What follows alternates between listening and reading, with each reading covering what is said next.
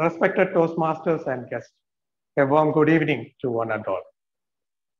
Imagine you're starting out in the construction field and you would like to know the best brand of cement that is available. What would you do? Would you take a cement that is endorsed by your favorite actor? Or would you go with the cement that has the catchiest advertising? Or would you go with the cement that is recommended by the construction professionals in your network? What would you do? Well, I can say, sorry, from the prof- what the professional says. yes, yes. So I can safely say that all of you agree with Toastmaster Anu on this, that if with a network of construction professionals, you are able to choose the right cement. Well, this is the beauty of networking.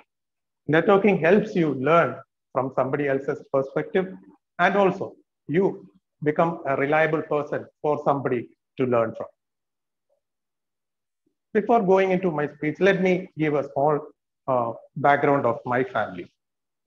We stayed for a long time in Kuwait. And when we moved to Kerala, we didn't have so many friends. The only people we knew were a couple of relatives and people who stayed in our lane.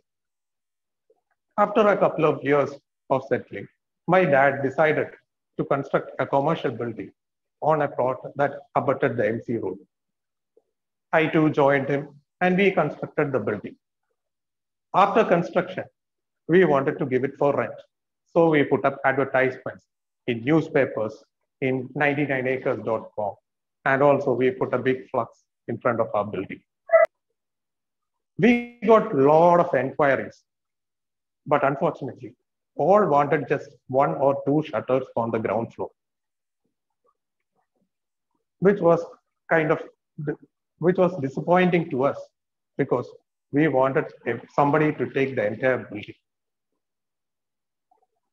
Now, I was one day in Pala discussing with my father-in-law about all this.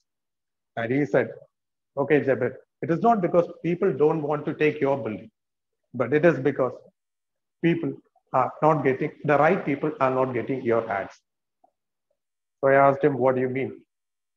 It means that you don't have a good network with people.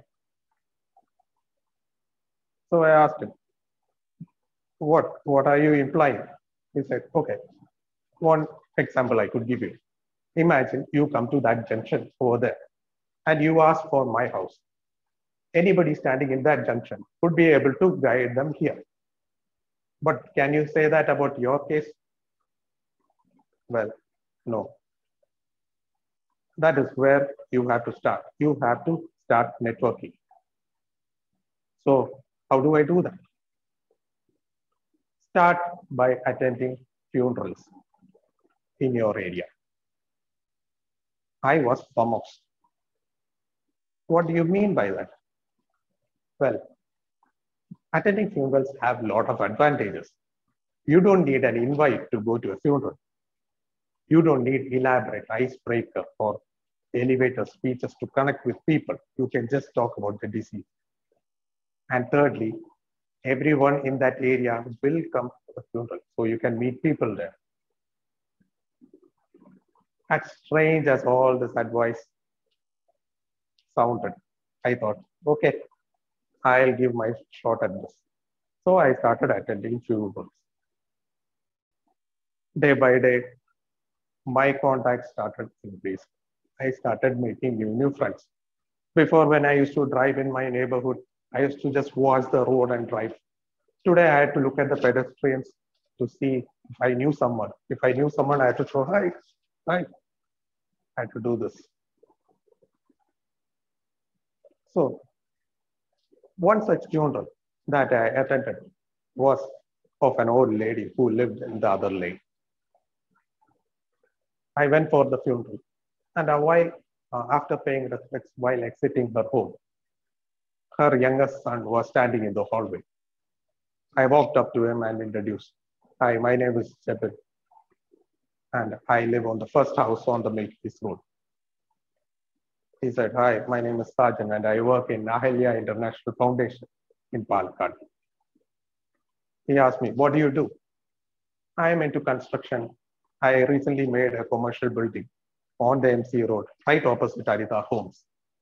He said, Oh, yeah, I've seen that building uh, opposite the Arita Homes. Uh, have you given it for rent? So I said, No, till now I haven't got anyone to rent that place. All right, uh, can you give me your card? So I gave him my card and I left. After a few days, he calls me up and he says his organization is interested in that place. Anyway, long story short, within a few months, they took that building for rent.